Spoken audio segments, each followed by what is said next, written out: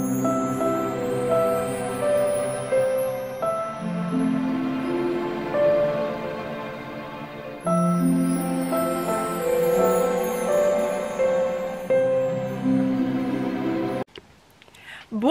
tutti, in questo nuovo video tutorial voglio mostrarvi come realizzare questo scaldacollo sacca, adesso scoprirete perché si chiama sacca, che io ho deciso di chiamare Chelsea. Questo perché il filato che ho utilizzato è della lana gatto e si chiama appunto Chelsea. Io ho scelto questo colore molto particolare, molto acceso, perché sapete che preferisco gli accessori colorati in modo da poter staccare quando uso gli outfit, soprattutto monocolori, e in inverno io tendo a usare molto spesso il verde, il blu, il nero, quindi colori comunque eh, molto cupi e quindi mi piace dar vita quando indosso questi colori a dei, um, più colore, a dare più risalto alle cose utilizzando degli accessori più colorati. Ma oltre questo colore sul sito ne trovate anche altri due sempre della linea Chelsea vi lascio il link in descrizione. Questo diciamo che è quello più abbinabile a tutti gli outfit e questo è per chi ama i colori verde eh, chiaro, i gialli, gli arancioni si abbina tantissimo. Ora per poter realizzare questo scaldacollo che è largo circa 67 cm lungo e alto 27 cm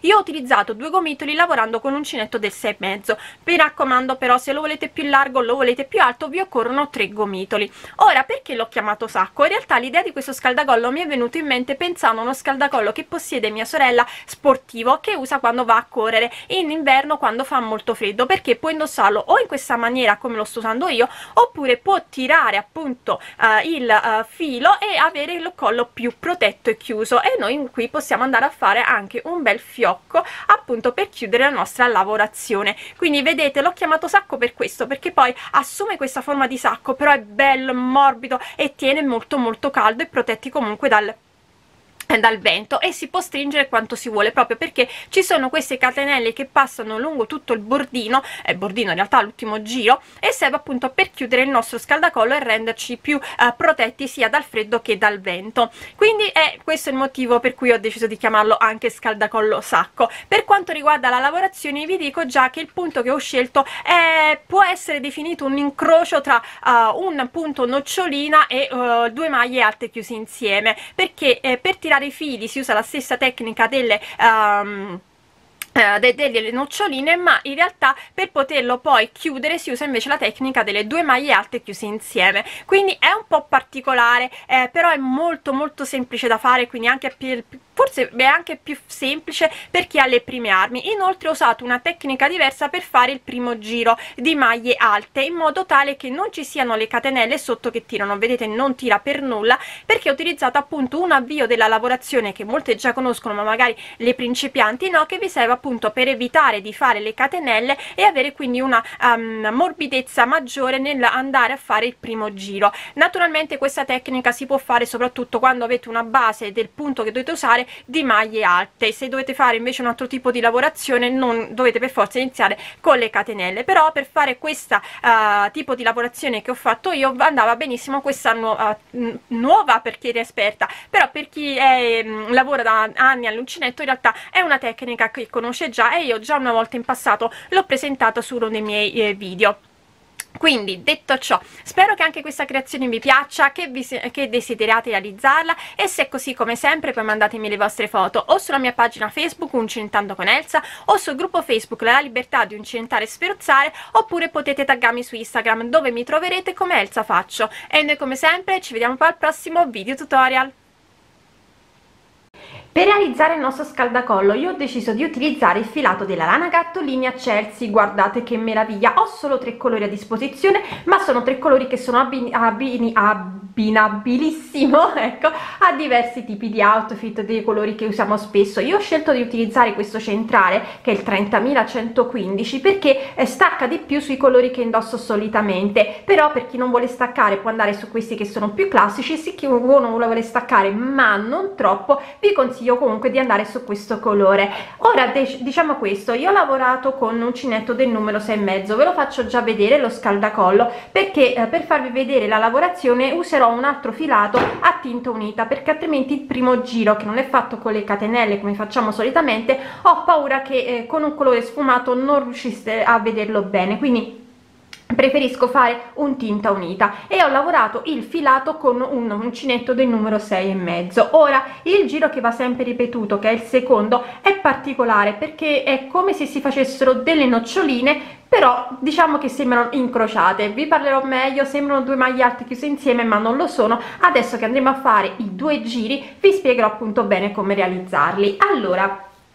come vi ho detto io utilizzerò un, un, filato diverso vedete un tintonita così è più facile da vedere. Um, la lavorazione come vi ho detto io la vado a fare col 6.5 però qui io per lavorare questo filato che è più sottile lavorerò col 5 e mezzo. Quindi se dovete utilizzare un filato più sottile utilizzate il 5 e mezzo il 5, uno, un filato che si lavori con il 5 e mezzo. Altra cosa io di maglie alte in totale qui ne ho 46 46 mi permette di avere una circonferenza di circa 67 cm centimetri. Quindi mi raccomando se volete lo scaldacollo più largo fate delle maglie alte in più rispetto a me. Non c'è bisogno di rispettare un motivo quindi possono essere dispari o pari. Diciamo che mh, mm, man mano che andate a mettere maglie alte eh, vedete in circolo come viene e se lo volete fare più largo del mio mettete qualche maglia alta in più.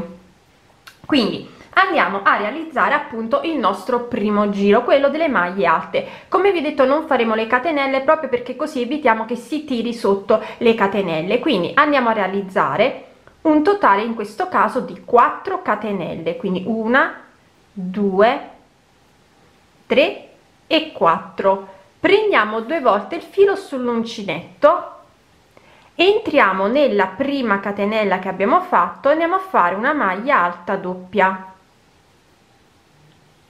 prendiamo di nuovo due fili sull'uncinetto e quello che faremo adesso lo faremo per tutto il giro. Entro nella prime due nel primo incrocio della maglia alta doppia. Vedete questa è la maglia alta doppia. Entro qui dove ci sono questi due filetti e vado a fare la mia maglia alta doppia. Di nuovo prendo due volte il filo sull'uncinetto entro alla base della maglia alta che doppia che ho fatto quindi entro in questi due fili e di nuovo vado a fare la mia maglia alta doppia. Vedete la lavorazione viene in questa maniera. Sembrano delle maglie alte separate da una catenella ma in realtà sono delle maglie alte doppie che ci permettono sotto di non avere la lavorazione tirata. Si fa soprattutto quando si vogliono fare eh, senza catenelle le maglie sotto quindi che non ci sia quella cosa che stringe e quando naturalmente la base inizia con una maglia bassa. Quindi di nuovo prendo due volte il filo sull'uncinetto vedete viene in automatico scendere e andare in questi due fili base della maglia alta pre doppia precedente e si va a fare la maglia alta doppia. Prendo due volte il filo sull'uncinetto e di nuovo scendo entro nei due fili motivo per cui vi ho detto di lavorare con um, un uncinetto grande è anche questo perché è più facile individuare i due fili e di entrare soprattutto se siete alle prime armi non avete mai fatto questo eh, genere di lavorazione iniziale. Quindi si prende due volte il filo sull'uncinetto si entra nei due fili di base della maglia alta doppia precedente e si va a fare la maglia alta doppia vi faccio continuare a vedere il movimento in modo tale che vedete come viene in automatico man mano che si procede con la lavorazione. Quindi si prendono volte il filo sull'uncinetto si entrano nei due fili e si va a fare la maglia alta doppia viene davvero in automatico. È un po più difficile quando si usa un uncinetto più piccolo perché giustamente le due ma le due uh, fili di cui si deve entrare sono più stretti e quindi sono anche più piccoli sono un po più difficili da vedere. Però non vi preoccupate man mano che vi abituate a fare questa lavorazione vi viene facile anche farla con degli uncinetti più piccoli. Visto che per me mi sembra che questa forse è solo la seconda volta che uso questa tecnica preferisco fare in questa maniera mostrarvela con un uncinetto grande. E quindi come vi ho detto io nella mia lavorazione vera e propria sono andata a fare un totale di 46 maglie alte. Vedete come viene la lavorazione non tira assolutamente sotto. Per poter chiudere la lavorazione adesso vi faccio vedere in tondo come si va a fare. Si prendono sempre due fili sull'uncinetto si entra sempre nelle due fili qui ma si va a chiudere anche la lavorazione. Quindi vedete in questo caso io torno mi raccomando non girate state attenti che avete fatto il giro. Entro nella catenella iniziale dove avevo fatto la maglia alta doppia con l'uncinetto prendo il filo ed esco sia dalla catenella iniziale che dalle due che avevo fatto eh, che avevo preso prima e poi vado a fare la mia maglia alta doppia e si chiude il giro entrando nella terza catenella che qui aveva la mia prima maglia alta e facendo una maglia bassissima. Vi faccio rivedere il movimento così ripeto per chi ha le prime armi lo può capire quindi sfiliamo tutto. Prendiamo due volte il filo sull'uncinetto. Entriamo nelle due catenelle di base.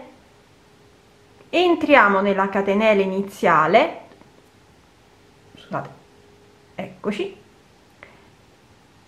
prendiamo il filo ed usciamo sia dalla catena iniziale che dalle due della, della maglia alta precedente. E poi vado a fare la mia maglia alta doppia. Entriamo poi nella terza catenella e andiamo a fare una maglia bassissima. E abbiamo chiuso il nostro primo giro. E adesso andiamo a fare il secondo giro che è il giro che dovremo sempre ripetere e che come vi ho detto anche in questo caso è un po particolare per iniziare il giro tiro un po la mia asola la porto sul davanti la lascio la prendo da dietro entrando nell'archetto con l'uncinetto la porto avanti. Adesso vado a lavorare in questa maniera. Questo è per il primo giro per il primo per iniziare il giro. Poi vi faccio vedere come continuare. Rientro prendo il filo ed esco. Prendo il filo vado nell'archetto successivo prendo il filo ed esco.